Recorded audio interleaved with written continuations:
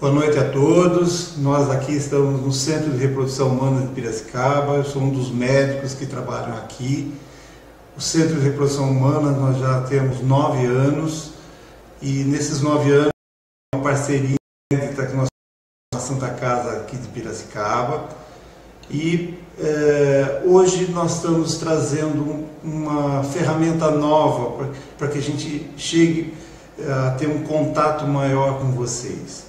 É, esse nosso contato ele pode ser feito através de plugando pelo site nosso e ali vocês vão estar entrando em contato e fazendo suas perguntas. Tá? Inicialmente eu gostaria de fazer uma explanação geral a respeito do que é infertilidade, que é, a, a, é uma patologia onde há, há uma dificuldade das pessoas engravidarem. Estatisticamente, 80 a 90% dos casais na idade entre 20 até 40 anos engravidam espontaneamente. É, Para que isso aconteça, é importante que seja feita algumas orientações básicas que qualquer ginecologista pode estar orientando, né? E para que isso aconteça é, de uma maneira natural, como a maior parte das pessoas tem. Sabemos também que 60% desses 80%, 90% vão engravidar nos primeiros meses. Né? Então, isso é, é, também uma coisa importante. É, uma coisa que a gente pensaria é quanto tempo a gente pode esperar. Né? Na realidade, a gente tem isso normatizado. Nós aguardamos até um ano para que os casais comecem a fazer a sua investigação e saber por que, que não estão engravidando. Isso é uma data limite até os 35 anos, porque sabidamente, a partir dos 35 anos, a fertilidade começa a diminuir, porque a característica dos óvulos também elas é, vão se é, não, não tendo um, uma, uma evolução a contento. Nós sabemos que a, que a mulher, quando ela está na, na puberdade, em torno, gira em torno de 600 mil folículos primordiais, que são aqueles folículos que vão dar óvulos para que, que as pessoas possam engravidar. Normalmente, todos os meses, muitos folículos perdem. E esses folículos, eles é, é, eles vão sendo usados independente de estar usando pílula ou não estar usando pílula. E com isso, o que a gente tem com certeza é que os melhores folículos, os melhores óvulos, eles vão sair a partir no, no, no início. E o final, depois dos 35 anos, começam a diminuir esses óvulos todos. Então, o que, que a gente tem para passar para vocês? que, para vocês terem uma ideia, desse total, um, 2 a 3% aos 40 anos é, é o que vai sobrar de óvulo. E o pior é que esses óvulos são os piores óvulos em relação aos que foram usados em tenra idade. Então, isso aí é uma data limite importante e 35 anos a gente já fica atento. A partir dos 35 anos, a gente não espera um ano, vai esperar uns seis meses. Tá? Então, eu gostaria de deixar vocês à vontade para que passem algumas dúvidas que eventualmente vocês tenham. Obviamente, nós vamos, nós vamos fugir um pouquinho do lado pessoal e procurar falar em termos de eh, temas, né? E que individualizar isso aí, gente deixaria para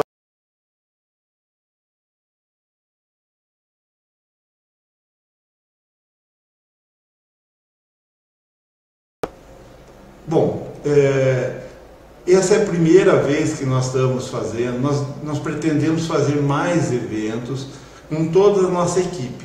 Todos vão estar trabalhando para que isso aconteça. É, é importante que a gente tenha uma, um contato de vocês, levando, levantando é, temas, algumas, alguns assuntos que sejam do interesse de vocês, para que a gente possa estar tá discutindo isso. Tá? Esse contato aqui, ao vivo, ele é muito, muito legal, muito, muito importante e vai fazer com que a gente tenha um, uma forma de, é, de tentar falar para vocês aquilo que vocês querem ouvir. Tá? Então, olha, é, deixa eu fazer uma. Tem uma, já um, algumas perguntas aqui, né? Eu queria agradecer as pacientes, o, o, as pessoas que estão nos perguntando. Então, olha, tem uma paciente aqui que está se perguntando em relação a alguns medicamentos que poderiam ser usados para síndrome dos ovários policísticos. É um tema interessante. Ovário policístico, só para que vou dar uma explanação geral para que fala, falar um pouquinho do que é o ovário policístico. O ovário policístico é, começa a nível de suprarrenal. Na suprarrenal, alguns dos eh, hormônios que são formados, que têm alguma característica androgênica, e eles se transformam em hormônio feminino. E por alguma alteração da parte de enzimas, algumas dessas, desses hormônios não se formam e começam a acumular um pouco de hormônio masculino. Essa é a, é a essência da síndrome ovário policístico. E o importante vocês notarem é que tem graus diferentes de interferências. Então nós temos pacientes com muita interferência, onde tem muito hormônio masculino é, na circulação. E com isso dá uma desordem de todo o eixo hormonal. Então, o que, que a gente tem de consequência? A primeira consequência do ovário policístico, esse aumento do andrógeno, ele vai diretamente na pele, vai originar quatro sintomas básicos: a queda do cabelo, a, a pele oleosa, o acne e o aumento de pelos. Isso é, gera um, um, estigma muito grande, porque é, imagine que desde tenra idade, desde jovem, essas pessoas vão desenvolver isso. Imagine o acne de uma maneira mais acentuada, os aumentos de pelos, isso esteticamente, tudo isso que vai transformar a vida dessa pessoa. E não é só isso. Esse aumento do andrógeno gera um aumento de um hormônio chamado LH. O LH, para vocês terem uma ideia, ele só tem um, um pico mais acentuado no meio do ciclo. Ele normalmente, nessa síndrome, ele está um nível mais elevado em relação aos outros hormônios. E aí o que, que acontece? Leva a duas alterações básicas. Primeiro, o ciclo menstrual não, se, não acontece com facilidade. Em geral, a síndrome ovário policístico clássica, ela vai apresentar um ela vai apresentar um ciclo onde ela vai menstruar muito pouco e com vários períodos longos de, de menstruação, muito irregular. Tá? E, e, e geralmente isso é porque não consegue Os, se a gente olhar no ovário, no ovário vão ter folículos todos na periferia. E também, o, outra coisa que acontece é que ela vai ter um, um problema que é chamado aumento da resistência à insulina, com consequências diretas no peso.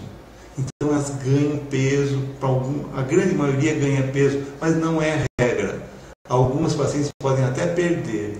E aí, medicamentos podem ser usados. Né? Surgiu uma pergunta agora de uma, de uma, de uma pessoa onde ela está pedindo informações a respeito de alguns medicamentos seriam utilizados. Óbvio que eu vou dar uma maneira geral. Tá? A gente pode usar a, a metformina, que é uma, uma das opções clássicas que já está sendo consagrado, surgindo medicamentos novos, tá? Que eu não vou mencionar o nome é, comercial que você acabou de mencionar aqui, mas é um medicamento muito promissor que tende a controlar o peso e também, indiretamente, controlar esse aumento da resistência à insulina, que é consequência disso. Tá? Olha, está chegando mais uma pergunta, que é o seguinte, se tiver corrimento não pode engravidar? Olha, isso é muito importante. Por isso que as pessoas têm que procurar o seu ginecologista. Vá, resolve essas às vezes coisas pequenas, como um corrimento vaginal, vem é, por trás disso a infertilidade. Então, o que, que a gente quer dizer? Olha, tem que ser tratado esses corrimentos. Tá? O corrimento vaginal, de uma maneira geral, ele é uma alteração da flora vaginal. A flora vaginal é composta por lactobacilos. Esses lactobacilos, eles é, mantêm um pH em torno de 4,5 no, no ambiente vaginal. Isso não, não deixa que fungo, bactéria, vírus se desenvolva. Então é uma grande arma. O que, que acontece? Quando essa, há uma queda desse problema, do, da flora vaginal, aí começa a ter corrimentos, pode ter corrimentos com odor, como no caso da, das bactérias, né? pode ter corrimentos muito prurido, como é característico dos fungos. Né? Mas, veja bem, isso tudo pode também levar a, uma avaliação melhor do casal. Toda pessoa que tem corrimento tem que ser olhado o colo dela. Se no colo dela tem o que a gente chama de uma ectopia, quer dizer, o tecido de dentro do colo do útero se expõe para fora, dentro do colo do útero o pH é alcalino sem bactérias. E ele expondo-se para fora, ele vai estar com uma, uma chance maior de, é, de criar um, uma secreção, e essa secreção vira meio de cultura e acaba atrapalhando a flora e cria uma infecção. É o que a gente chama de cervicite.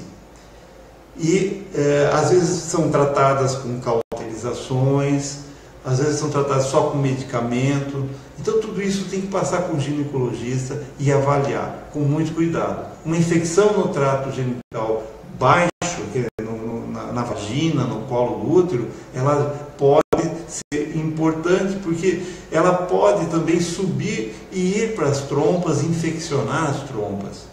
Tá? Nós temos que lembrar das doenças sexualmente transmitidas, né? que essas doenças sexualmente transmitidas elas têm algumas que têm uma avidez por glândula, eles vão direto do colo do útero e do colo do útero eles pegam o endométrio, levando uma endometrite, que é a parte de dentro do, do, do, do útero, e das trompas. Né? A trompa, só para que vocês tenham uma ideia, o calibre em algumas porções é em torno de um milímetro. Uma inflamação ali frequentemente leva a um problema de infertilidade. Tá? Então, às vezes, um pequeno corrimento pode ser um sinal de alerta para você procurar o seu ginecologista e ele poder fazer o diagnóstico correto. Tá? Lembrando que 35%, porque assim, só para que vocês tenham uma ideia, tá? na infertilidade, a gente sabe que 30% é a mulher, 30% é o homem, 30% é uma parte é, é o casal e o homem o homem e a mulher é, levando a essa causa da infertilidade. E 10% são é o que a gente chama de infertilidade sem causa aparente, daquelas infertilidades que a gente não fez o diagnóstico e muitas coisas, muitos diagnósticos nós vamos fazer só lá no futuro. Antigamente a gente tinha essa margem de infertilidade sem causa aparente, uma margem muito grande. Hoje, com o conhecimento atual, a gente já diminuiu bastante. Então, das infertilidades só de causa feminina, 30% é 35% é causa de obstrução tubária ou de algum fator tubário. 35% é fator ovulatório, a síndrome ovário policístico é a mais frequente. Tá? E uh, eh, 20% é endometriose.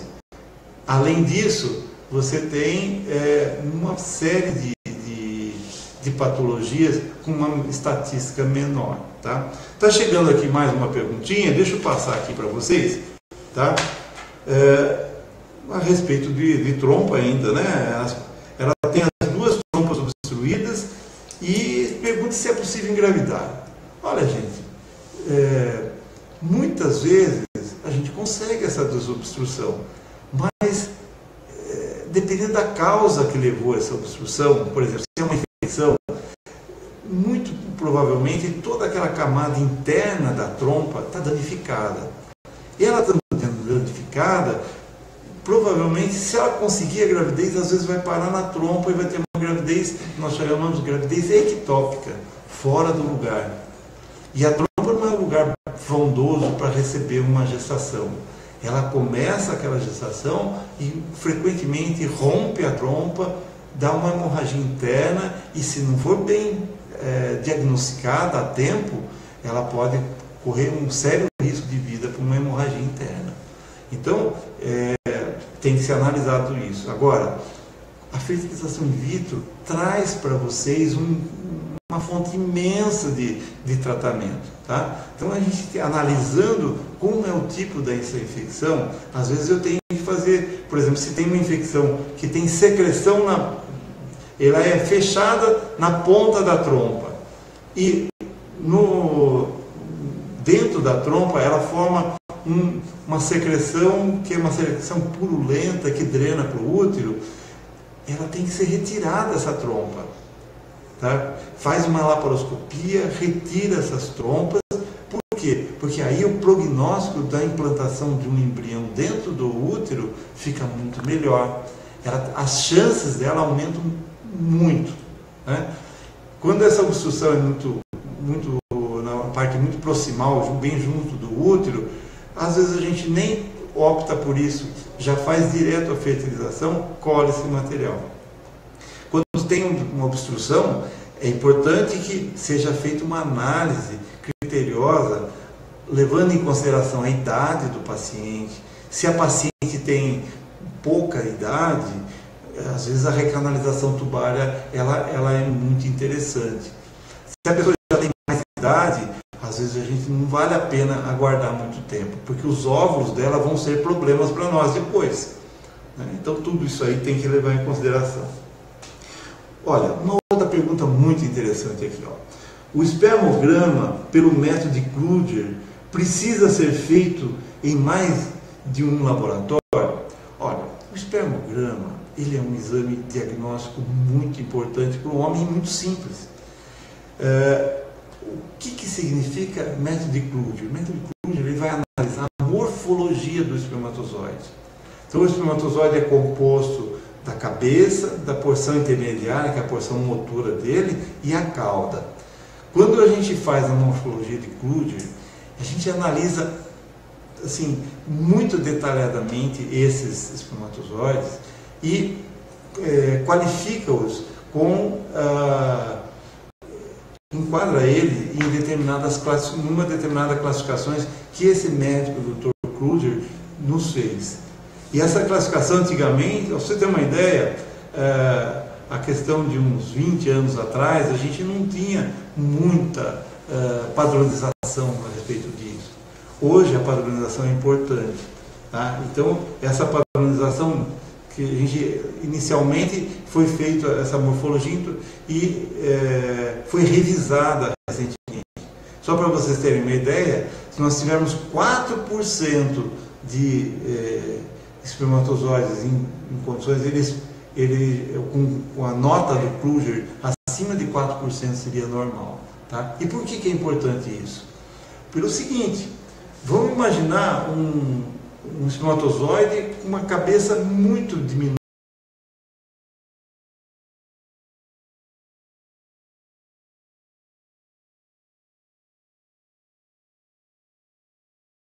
De, de fecundar o óvulo. Tá? Então, o que, que a gente tem que fazer? A análise morfológica tem que ser normal, quer dizer, acima de 4%, para que a gente tente engravidar espontaneamente, que é fazer o coito programado. O coito programado, a gente prepara a, a mulher, faz com que ela ovule, diz a, a hora que vai ser mais propícia para se ter uma relação em casa, e a pessoa tem uma relação em casa. Mas ela vai ter que ter, é, que chegue próximo do óvulo, em torno de 15 milhões de espermatozoides em boas condições, com morfologia normal. Para fazer uma inseminação, eu preciso de 5 milhões com morfologia normal. Então o que, vai acontecer? Vai decrescer a porcentagem da taxa de sucesso de cada um. Tá?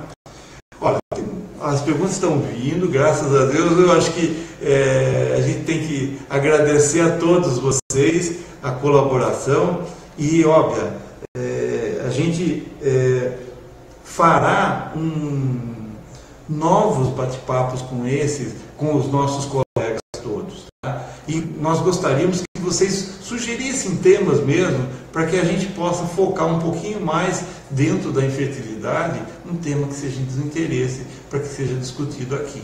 Tá? Então, é, nós estamos criando esse canal de comunicação no Facebook para que a gente possa conversar, de, pelo menos assim, é, tirar algumas dúvidas sem que vocês precisem vir até aqui. Tá? É óbvio que a gente não está particularizando nada. Particularizar é expor vocês à, à população toda que está assistindo. Não é essa a nossa intenção. A nossa intenção é fazer com que esse espaço seja discutido temas sobre infertilidade, que tire dúvidas sobre, sobre alguns temas específicos que vocês querem saber. Então vamos lá. Olha, eu tenho cisto no útero e quer saber se pode engravidar. Cisto no útero, praticamente, olha, só tem uma eventualidade que pode acontecer. Cisto é quando a gente tem uma endometriose dentro do útero. Aí pode ter um pequeno cistinho, que é raro acontecer isso, hein? É, só em fases mais avançadas. A gente chama a endometriose interna quando a endometriose é dentro do útero. A endometriose externa é quando ela é no, no ovário, na trompa e é mais à distância. Tá? No intestino, na bexiga, ou até indo para pulmão, para locais assim de longa distância. Tá? Então, é, cisto no útero, talvez é, eu, eu acho que a pergunta não foi bem essa, tá? porque isso não é tão frequente. A pergunta que talvez você esteja perguntando é sobre miomas uterinos. Os miomas uterinos são tumores benignos que ficam dentro da musculatura. Então não é cisto, é um nódulo uterino sólido. Tá? Lembra que o, o, o músculo do útero é o músculo mais rico em, em fibra muscular lisa. E o fibroadenoma é um tumor benigno de fibra muscular lisa. Até aí é muito técnico tudo, mas vamos colocar para vocês o que, que, é importante para a gente estar tá entendendo isso daí. Os miomas. Miomas muito grandes, eles podem ser causa de abortamento. Então, não de não conseguir engravidar, de abortamento. Às vezes, o crescimento dele vai próximo da trompa e pode levar a uma obstrução das trompas. Quando é bilateral, tudo bem, mas quando é unilateral, não, né? Agora, é, o que, que o mioma faz? O mioma causa, basicamente assim, a grande maioria das pessoas tem mioma e são assintomáticas, quer dizer, não tem problema nenhum. Mas ele pode interferir na contratilidade do músculo. Então, durante a menstruação, eles podem originar cólicas e podem originar hum, é, cólicas e dor. Tá? Mas ele, o, o mais frequente é isso. Agora, hum, talvez não seja cisto que você me perguntou. Tá? É, uma pergunta aqui: como foi, como é feita a inseminação e é, que foi indicada para você que está nos perguntando, né? E se a gente faz? Óbvio, é, aqui nós fazemos três tipos de tratamento. O tratamento da infertilidade é feito com coito programado, inseminação ou fertilização in vitro. Esses três, óbvio que a gente faz. Tá? Ah, muita gente confunde inseminação com fertilização in vitro. Tá? Então, é assim, coito programado e inseminação são de baixas, com baixa complexidade. E fertilização in vitro é de alta complexidade. E, obviamente, cada um tem lá a sua porcentagem, a taxa de sucesso. Uma pessoa abaixo dos 35 anos, uma mulher abaixo dos 35 anos, é, mais ou menos assim, a nível geral, independente do fator que tá, causal, por exemplo, vamos imaginar uma, uma obstrução de trompa, que não é um abscesso de trompa. O, o, qual é a, a porcentagem de chance numa fertilização? Seria em torno de 45% por tentativa. Tá? colocando dois embriões. Se eu colocar um embrião só, eu vou ter 30, 25 a 30% de taxa de sucesso. Tá? Então, é, de 20 a 30, vamos dizer assim. Tá? Agora, no caso de uma inseminação, é, a gente poderia dizer, ah, você está perguntando é, como que é feita. É simples. A gente pega no começo do ciclo, assim que menstrua, a paciente vem para cá, a gente faz um ultrassom, dá uma olhada, não tem nenhum folículo residual. Nós vamos é, fazer com que é, vamos olhar o endométrio, que é aquela camada que menstrua, com o segundo dia de menstruação ainda ela está menstruando, para ver se todo, descamou totalmente. E entramos com algumas medicações que possam estimular esse, esse o, o ovário de modo que seja uma estimulação branda. Tá? Branda que a gente fala é para obter um a três folículos em condições de nos dar óvulos. Tá?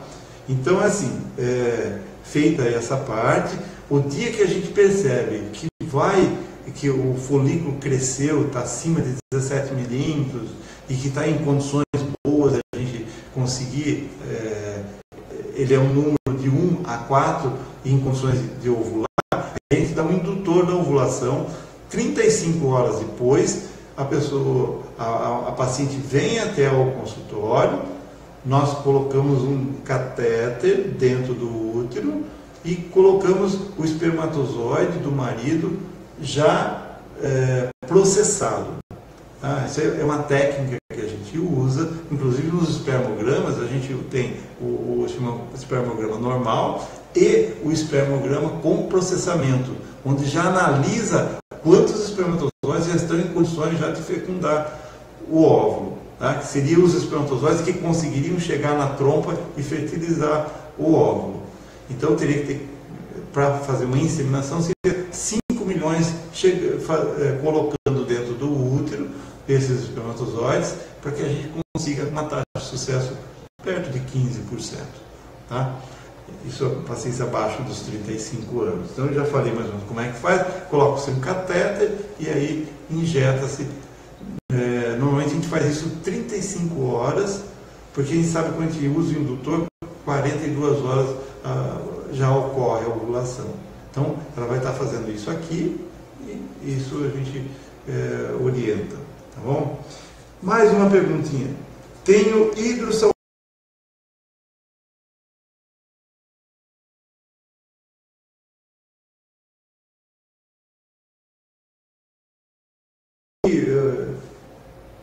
Oh, ah, ótimo. É, a paciente me pergunta se ela tem uma hidrossalpinge, se ela tem condições de uma gestação. Tem. A hidrossalpinge é uma coisa que às vezes engana. Ela tem uma hidrossalpinge que às vezes pode ser que essa secreção ela não extravase para dentro da cavidade, está fechada a ponta, a ponta da trompa, mas ela pode drenar isso para dentro do útero. Se for uma infecção, ela tem uma hidrossalpinge, o líquido ali dentro da, da trompa, forma uma saculação ali e drena para dentro do útero. Aí sim, aí ela vai ter que ser tratada.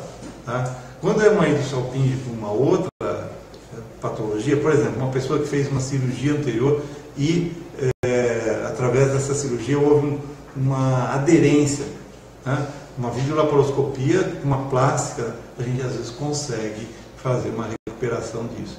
Tá? Então é, é, é, realmente interessante quanto a isso. Bom, gente, nosso tempo está terminando. É, eu tive um prazer muito grande de estar aqui conversando com vocês. Espero que vocês tenham gostado.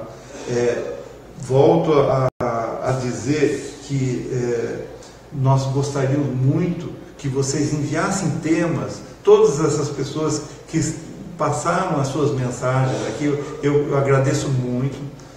E é, já de antemão, já vou dizendo, pessoalmente, vou estar é, repassando para as respostas é, pessoalmente, todas elas, tá? para vocês, e é, tentando dar uma explicação mais, é, mais simples possível, no que for possível ser passado. Tá? Agora, eu queria que vocês mandassem essas mensagens com temas para a gente poder ter novas discussões aqui. Tá? Os outros colegas nossos vão estar aqui conversando com vocês e passando essas informações todas. Tá? Eu agradeço muito, sou é, extremamente grato né? e tenho uma fé muito grande que essa fonte de essa nova estratégia de, de contato com vocês é, chegue a, a ser um, um, uma ponte importante para passar alguns conhecimentos que a gente adquiriu nesses anos todos de, de carreira. Tá? Eu lhe agradeço e é, mando um abraço a todos, agradecendo todos que me mandaram as mensagens aqui e que foram muitas, eu não tive como re, é, responder a todos, tá? Um abraço a todos, tá?